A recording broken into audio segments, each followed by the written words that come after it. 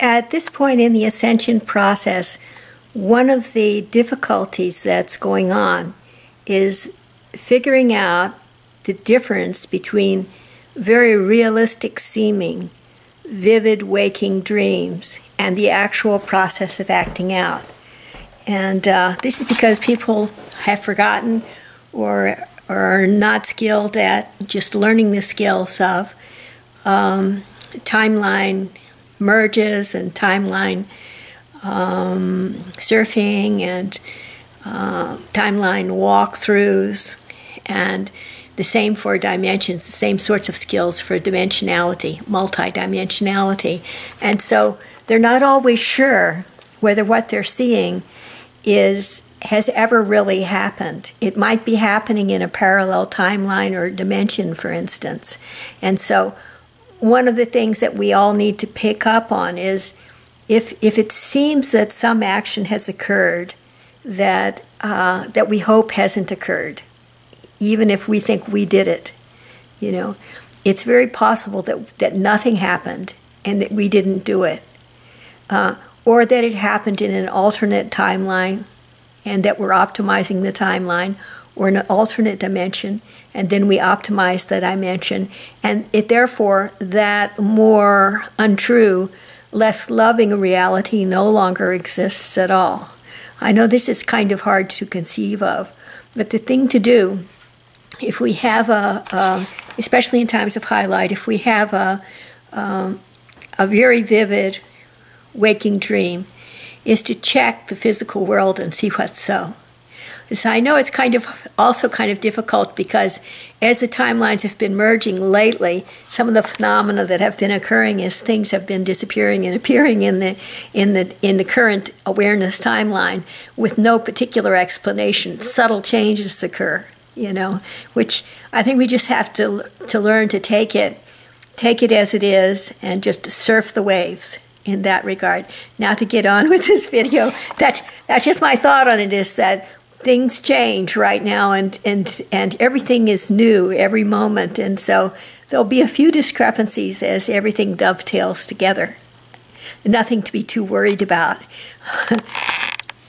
so now at the beginning of this video, I was talking about the current difficulty in discriminating between um, vivid waking dreams and otherwise known as astral stories that are circulating on the clair plane and uh, actual instances of physically acting out these stories and these dreams in the real world, what we call the third dimension. So now at the beginning of this video, I was talking about the current difficulty in discriminating between um, vivid waking dreams and otherwise known as astral stories that are circulating on the clair plane and uh, actual instances of physically acting out these stories and these dreams in the real world, what we call the third dimension. Here's a possible instance. The, the parents of, of ch some children and teenage children in a family, they, uh, they're stressed out by the incoming light and they take a little um, a sip of wine at dinner.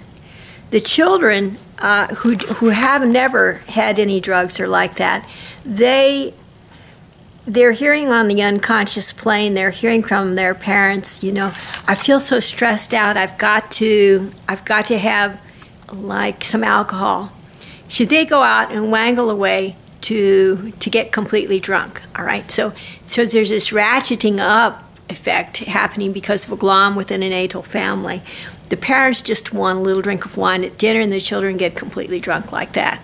And it may happen a time or two before the parents, it comes to their attention. And, and, and parents wonder what the children are up to, why the children are doing this, but in fact, it's their own subconscious like intention that's, that's driving the subconscious response of the children. Um, so there's that. And then there's another instance that has to do with families, uh, with grown up children, which are still maintaining contact with each other, even though the children moved out or like that. Let's say mm, the parent is really, and, and the children look up to the parents, you know, and they're listening on a subconscious plane to what the parents are saying, right? So, so the parents become really angry at another person okay. And and they're always thinking they're always thinking that person did this that person did that like that. They're always grumbling in their subconscious mind about it. And i wish that person would and, and then the subconscious mind does these cursing things to you know curse this person with like this or curse this person with a, that you know all kinds of things. And, and the children pick up on it on a subconscious rising to consciousness plane. And the child takes that just in the board plane of um, plane of forces veil of unconsciousness, forgetfulness area, the child uh, goes into a sort of a fugue state and says, Oh, yeah, I'm going to do this. I want to please my parents. Like, my parents want me to do it. They told me so, right? And they act that out. The parent actually never had such an intention, right? And eventually, it comes to the parents' uh, attention that this has happened. And they ask the child, Why did you do this? And the child says, But you told me to. You told me to. I did it to please you. I wanted you to love me. And the parent is like scratching their head. They're going, Oh my God, I wonder what this is about. And it's the same story. It's because the parent is the leader. Even if the child is grown, it doesn't matter. The parent is the leader, and the parent has uh, has walled off feelings and emotions, mostly feeling filled thoughts, repressed that are that are that are like repeating over and over again. That's like samskaras, what they are. And the children are hearing this over and over again. Only they're rising to consciousness, and what they think is that the parent really wants them to do this thing, and they love the parent, so they do that thing. so, so children, if you've noticed that happening in your parent, the thing to do is to bring it to conscious awareness talk to your parent either on the phone or face to face, eye to eye. At, say, I've been hearing this from you on the unconscious plane. I'd like to know what your feelings really are about it, whether your love of me depends upon my breaking the law in this way or like that, you know.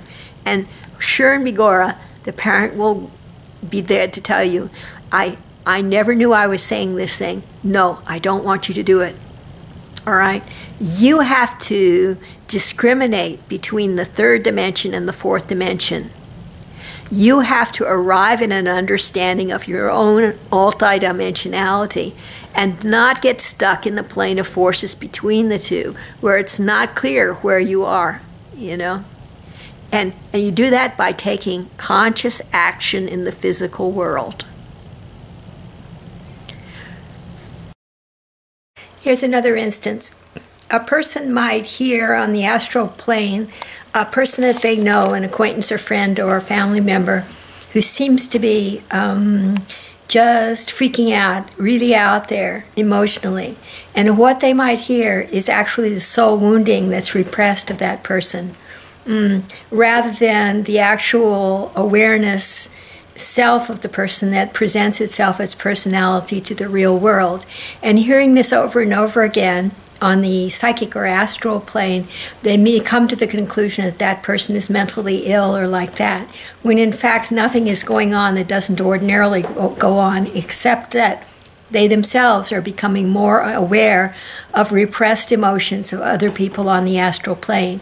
Consequently, uh, not uh, still failing to distinguish between these two planes, the fourth dimension with the emotions and the third dimensions with the physical beingness of a person, they would leap to the conclusion that they should act out. And that might include just all kinds of things that, that are considered an invasion of privacy. Uh, they might call the police and ask the police to take a, a checkup on the person.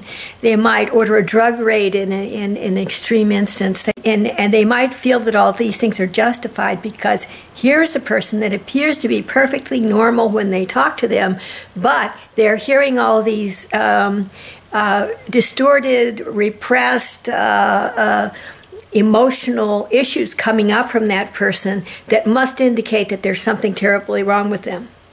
Okay, so this is another like way that we have to avoid acting out. We should check up on people on the physical plane, and if they seem normal on the physical plane, let it go at that. You know, and the funny thing is that this other person might be thinking the same thing. They might be hearing um, for you, the person that's thinking of acting out, you know, calling for the, the riot squad and so forth, this other person might be hearing the same thing from you and thinking the same thing about you. Yet every time they talk to you, you seem like a real, real regular person. They don't know what to think, you know? And so the answer lies in this the emotional plane is the land of dreams. The physical plane is physical reality. They're two separate planes. And so we take a step in the physical realm to determine whether it, whether or not a, a, a, further step needs to be taken in the physical realm. We don't rely on our astral input, which is very difficult because repressed emotions repeat like in a cycle. It's like uh, the the perpetual motion emotion machine, right? Keeps repeating and repeating and repeating, and it repeats while we're asleep and like that. If people are tuned into us, and and it's hard. It's hard not to act on that. But that's the skill that we're learning.